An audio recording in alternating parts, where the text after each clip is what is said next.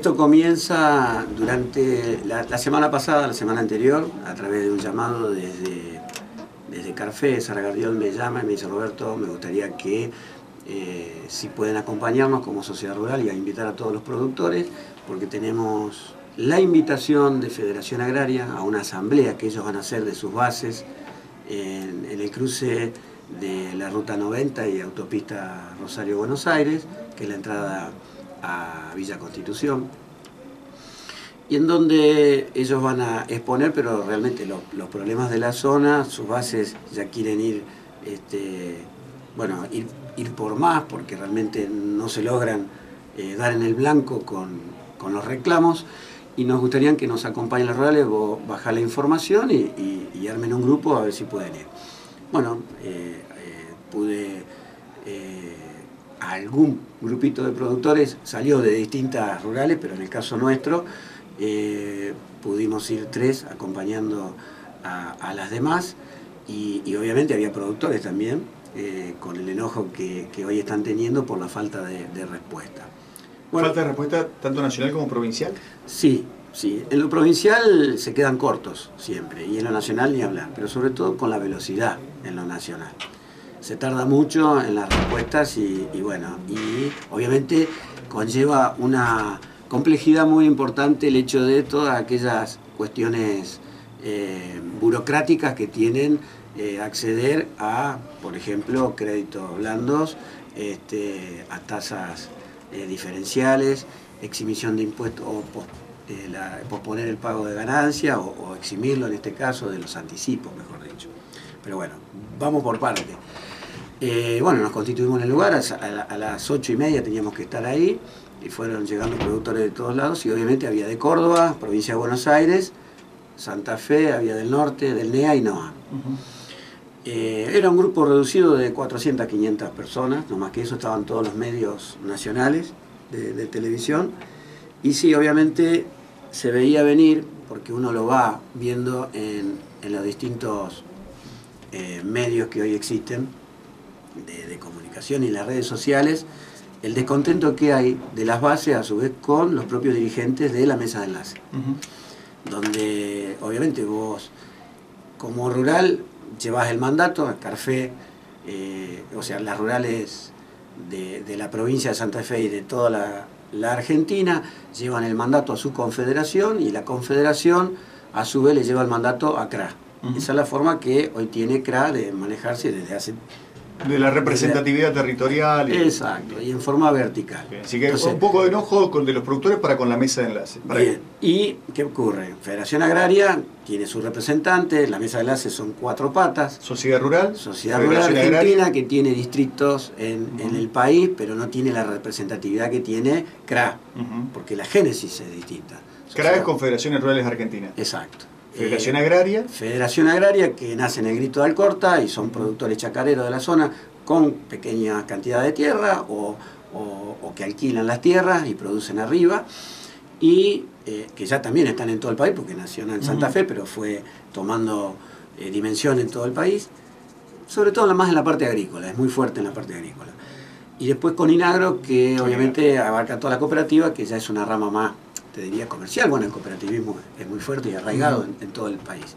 Así que estos cuatro representantes que yo tengo una mirada distinta a lo que opina la gente porque asisto a las reuniones de, Carfe y, veo sobre todo la institucionalidad con la que, se maneja, por lo menos la institución a la que represento y, y a la que voy como delegado desde hace ya tiempo.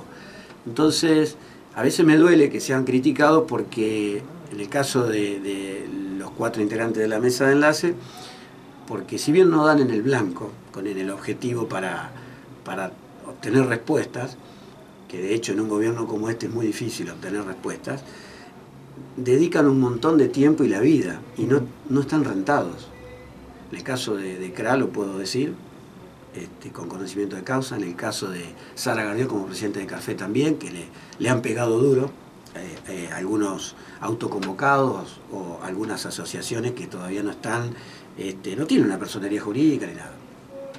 Entonces se escudan para criticar como autoconvocado y después cuando vos le pedís el tiempo para que se institucionalicen, formen parte de una sociedad rural o de en una cooperativa y demás, como que el tiempo no lo tienen.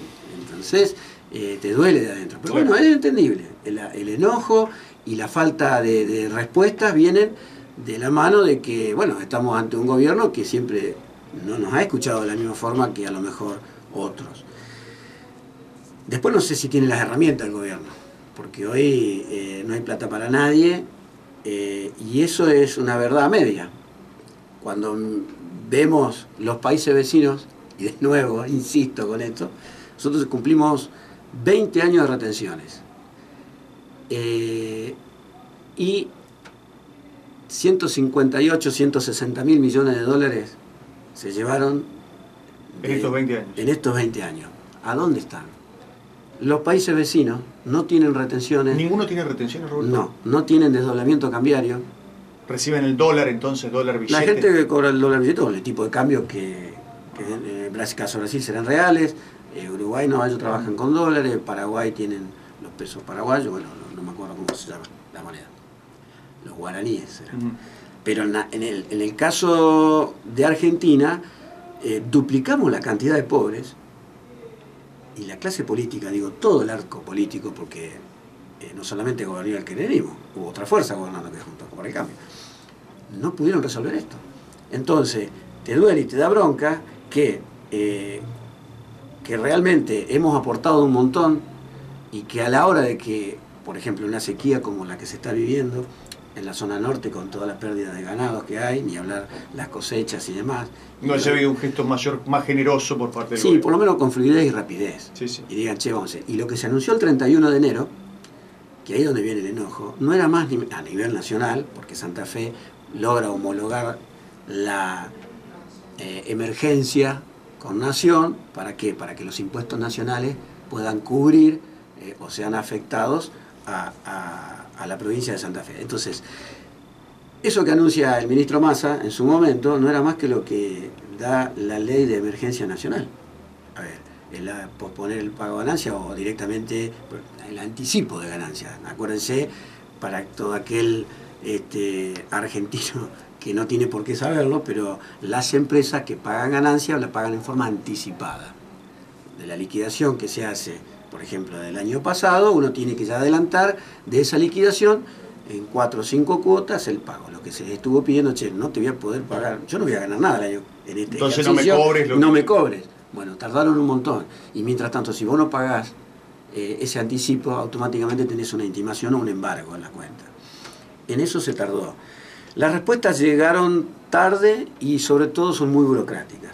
Y por ejemplo, eh, acabo de, hablar con Banco Nación, de la sucursal de acá, hay a disposición créditos eh, con un subsidio de tasa de un 10% en un caso, eh, o, algunas eh, pura y exclusivamente para aquellos productores que tengan certificado de emergencia, pero no tienen que tener el cereal, en este caso soja, este, con lo cual ahí ocurre que si realmente tenés soja, tenés que venderla. Y el productor pequeño que por ahí está pagando un alquiler, que tiene un tambo y tiene un poquito de soja para darle a sus animales, porque obviamente la moneda de cambio que tiene para canjearlo por espel y demás, no puede acceder a esa herramienta porque hay una inconsistencia. Porque por otro lado te dice el Estado Nacional, no, vende la soja, necesito dólares y no te puedo ayudar si no me vendes esa soja. Pero eso también la tengo que, la tengo que convertir en speller. Bueno, hay un montón de cosas que que, tropezamos en esto.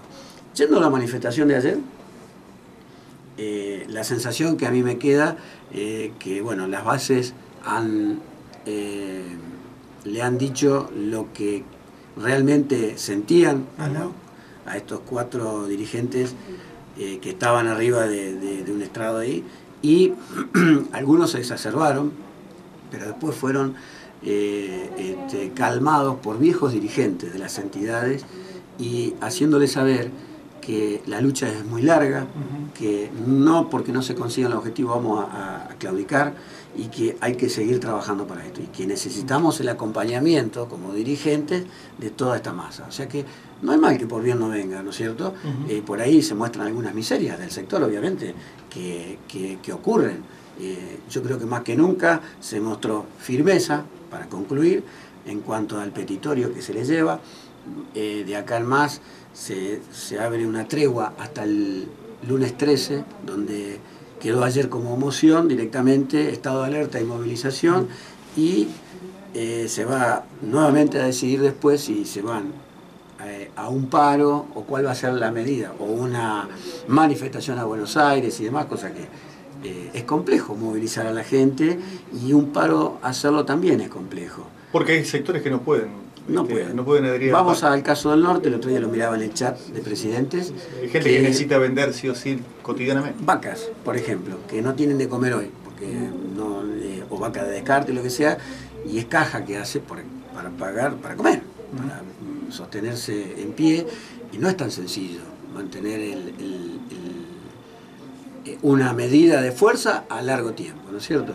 Así que es complejo, pero bueno, más que nada participamos como rural, eh, como lo debíamos hacer, y, bueno, esperemos que, que, surja algo de esto, a partir del 13 después se verá. Claro.